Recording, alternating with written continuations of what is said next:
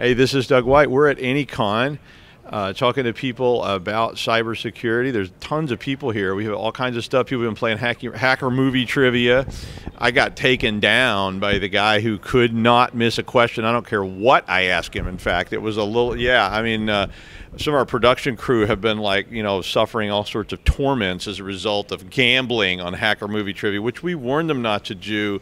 But people that are doing shots of potato vodka at, you know, two in the afternoon, often end up with you know unfortunate tattoos and strange diseases that they can't explain. Uh, but that's neither here nor there. I'm here with John from Elite Cybersecurity, who who is one. You are you are you sponsor of the the conference? Oh, and, we, uh, we're throwing it. Yeah, you're throwing it. So that was that was right. So that's really awesome.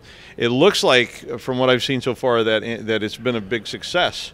Uh, much better than we thought for the first year. or So much better than I thought. It was like a new one. I was like, well, you know, this could be one of those things where we all show up and there's like three or four people standing around a like, you know, trash barrel with a fire in it, you know, in the lobby.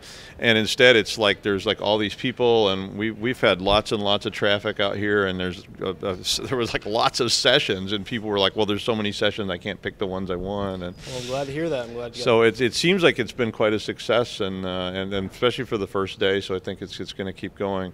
So we're going to talk a little bit about teaching people pen testing.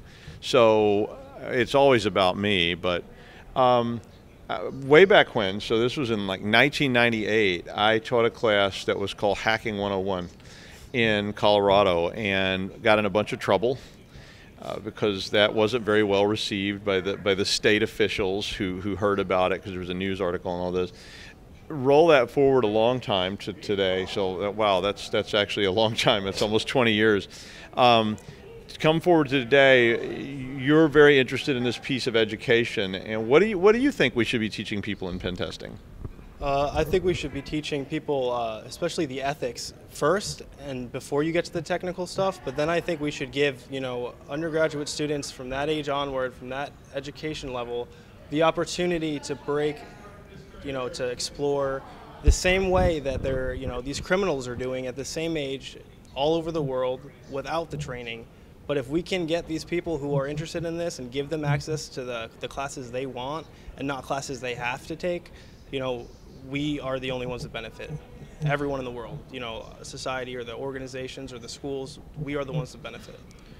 Okay, I mean, I, I agree with that. Do you think you can teach people ethics? though? I, I always I've always gone back and forth in that because I know there's ethics classes, you know, these kind of things, but I, I've always had a bit of sort of question about do you really think you can teach you know people ethics?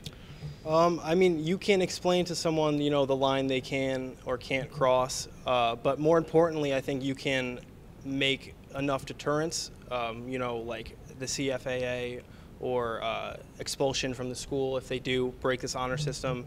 Um, but I think the, the bigger thing is what is actually crossing the line. You know, there are a lot of things today that are automatic, that are point and click, and I think, uh, especially in my classes and my experience, you know, we're putting people in front of these tools without understanding what's going on in the background and they wouldn't know if they were crossing a line. And I think yeah, that's I, what I mean by. I, okay, I, I, agree with that very much. I mean, I mean, I I, I think that too. I, I think that that one, there are going to be people who will always break the rules. I mean, that's Kohlbergian preconventionalism. I've, I've talked about it for years. And they're going to break the rules as long as there's not deterrents that are going to catch them. So, I mean, if you convince them they're going to go to jail or they're going to be punished, they yep. won't do stuff. Uh, and I also agree that a lot of people are are not going to do these things if they know they're wrong because I've had a lot of students and I've, I've taught pen testing, I've done pen testing, and, and we all, I mean, I've almost never met anybody in this field that wasn't a little bit mischievous. I mean, it's kind of a part of the, the mindset that goes into doing pen testing because your whole world is about going around that problem or yep. figuring a way to break through the lock or whatever. So you have to have a little bit of that mentality, of that criminal mentality just to do the job. But you also, a lot of times, I think people kind of get carried away. They don't really know where to stop or what's, what's good. So how do, how do you teach that? How do you, what, what do you do? I think you explain to them what they are breaking it for and not just because they want to or for the lulls or you know it's it's because you were trying to make it better. You were trying to make it harden. You're trying to harden it. You're trying to make it you know more secure. Uh, you're trying to close these holes so that the bad guys who do sell your information, who do do bad things with it, they don't get that information. And I think if we could make it clear to students, you know, what it means, what you're actually doing, they would feel much more uh, like they are achieving something or like they are doing something important if they have that impression that what it is actually for. I, I, like what you said about classes that you need rather than classes that you're forced to take. Yep. And I know that that's always been one of my kind of ideological approaches was was that I, I like to look at the industry and say, what do you need to learn to get the job that you yep. want? And and I very much believe that about pen testing because pen testing is a hard thing to teach. Yeah. because there's this broad skill set that, that, that really, you know, when I started doing it, it was because I had worked on so many platforms.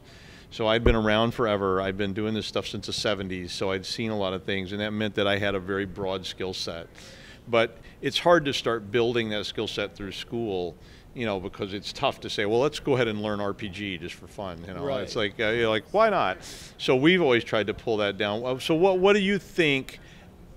Is the class? If you're teaching pen testing, what tool would you teach? I mean, how, how would you do it? Um, I mean, so I had a few uh, a few ideas. I think there should be CTFs um, that are red versus blue. So offensive security students versus defensive security students. I think that's something that uh, we're completely missing and lacking. You know, um, I just wrote a uh, worked on a grant at my old school for developing a CTF that they would integrate into their curriculum and I think uh, you know it didn't have a, a, red versus blue side. It doesn't have both sides benefit if you have defensive students battling the offensive students. Yeah. Another thing, uh, bug bounty programs. This is everywhere, every organization, but no school. It doesn't make sense. I mean, hmm. these students can do it for scholarships, for schools, you know, recognition for their resume for transfer. So, so you're saying that like like have the class focus on doing a bug bounty or something like that, or are you saying to run a bug bounty? Uh, to have the class focus on on the. So, like say, okay, Google's offering a bug bounty on this thing, right. so have the school try to make money by going or, after it. Or the school's having a bug bounty. For you heard students. it here first. Go do it. I mean, I, I think that's an awesome idea. That that's a I had not thought of that, and I think that's a really good idea. So look, pen testing people, so that's a good way to teach your class,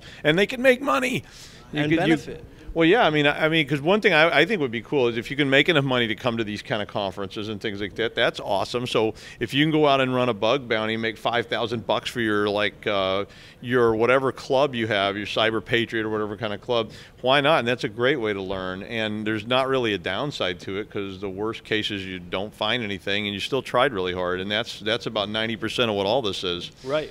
Right. I mean, ideally, if you're a good, if you're a pen tester, if they're good, you're going to fail right? I mean, that's that's the first. There's nothing there. There's usually right. something there, but but but I mean, you know, literally, if if it was all locked down, you you should come away going.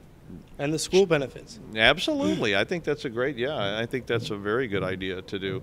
What tool? What tools would you teach in pen testing though? If you run the class, I mean, besides all these nice things, what what would you teach? Um, I mean, it's hard. I mean, what kind of pen tests are you talking about? Because I do external ones, I do physical, you know, I do internal, I do web ones. Um, I really think that the manual side of it, the manual, maybe you know, using Netcat instead of uh, a port knocker, I think that's something that students can benefit from uh, because they understand what's going on more. Okay. Um, but yeah, it's it's a hard it's a hard thing to say. You know, not not every tool is applicable. Language. So so what language would what you tell languages? Which uh, one would, should you learn? I think uh, starting with some one, you know, a very low level one like HTML would be a great start, and by the end, should, they should be pretty uh, proficient in, in Python and um, Python, Perl.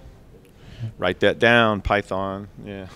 I, have been I've been like preaching Python forever and ever because it's like something I wish you know more people knew, and there's always a big demand for it, and it's it's just really useful scripting language. And it's, it's not a it's not so bad the syntax. No, it's it's, it's not. not. So Python bad. is easy. I mean, if you know like Java, or if you've been doing Java with appies, you you can do Python very quickly. Right. Yeah, I, I yeah. okay, uh, so how about a fun question then? We'll okay. wrap this up. How about a fun question? Um, so, uh, Star Wars or Star Trek? Star Wars. Star Wars. Okay, I can't ever get a Star Trek person. Okay, so my question then is, did Han shoot first? Did Han Solo shoot first? Yes. Yes. Okay. Okay. He's not sure. See, I, am I'm, I'm, I'm in the like he should have shot sooner camp of like you know he, he didn't wait he, he waited too long. He should have shot the guy right away. So that was kind of my objective but that's just one i like to put a little fun question out there at the end. So uh, well i want to thank you for coming down and talking with us and, and having this great conference uh, here in albany. So uh, we appreciate it and we'll see you around tomorrow i'm sure. All right. Well, thanks. all right thanks a lot